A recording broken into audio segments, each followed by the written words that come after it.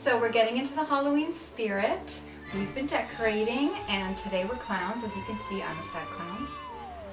Michelle is pretty purple clown, lavender.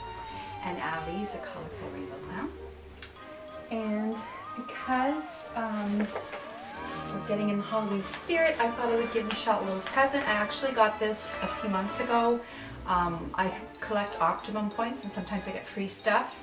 And anyways, I was able to get this and it's kind of a Halloween themed thing, so I thought I might as well give it to her before Halloween, so here we go. Three, two, one. I didn't really wrap it, it's just in tissue.